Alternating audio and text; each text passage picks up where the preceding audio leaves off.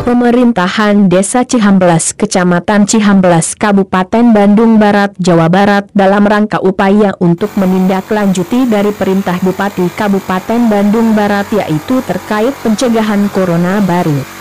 Baru ini telah dilaksanakan kegiatan penyemprotan dioksida yang tentunya dilaksanakan di beberapa tempat sarana umum seperti di antaranya masjid, sekolah TK, SD, pemukiman warga serta kantor desa Cihamblas. Kegiatan ini berlangsung hikmat pertama antisipasi daripada merebaknya virus corona untuk warga masyarakat desa Ciamplas tentunya ini sebuah himbauan bahwa lebih baik di rumah daripada berkeluyuran tidak jelas serta aset berpesan kepada seluruh seluruh warganya agar dibiasakan untuk hidup sehat dengan cara mencuci tangan sesuai anjuran dari pihak kesehatan. Hal itu disampaikan Kepala Desa Cihamblas Asep Mulyadi dalam kegiatan tersebut. Selamat siang, terima kasih untuk khususnya Desa Ciamplas saya berupaya untuk melaksanakan pencegahan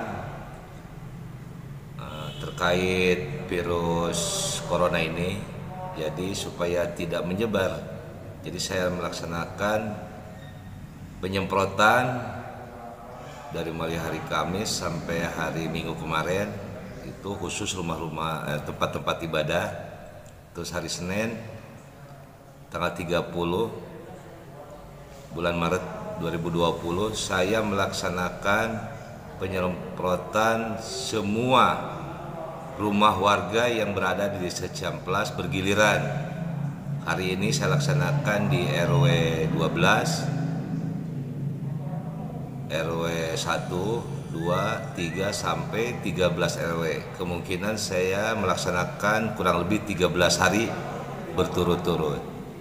Himbauan saya kepada warga untuk tetap di rumah, tidak boleh berkumpul karena untuk mengurangi virus ini berkembang dengan cara instruksi dari Dinas Kesehatan baik dari pimpinan pemerintah pusat daerah sampai ke saya kepada Desa Ciamplas bahwa masyarakat tidak dibolehkan untuk kumpul atau beraktivitas di luar rumah yang dalam artian tidak ada kepentingan yang mendesak. Jadi saran saya kepada warga masyarakat Desa Ciamplas, saya menghimbau tetap di rumah. Itu sementara himbauan dari saya. Terima kasih, selamat siang. Selain dari itu pula, pihak pemerintahan desa pun juga melakukan patroli terutama mengecek pada warga-warga yang masih berkumul untuk menghindari hal-hal yang tidak diinginkan. Hal itu dilaksanakan bersama pihak kepolisian dan pihak TNI. Juga kepada para ketua RT, RW, kepala desa menghimbau agar segera melaporkan apabila ada orang-orang yang tidak dikenal, terutama para tamu yang di luar dari wilayah Desa Ciamplas.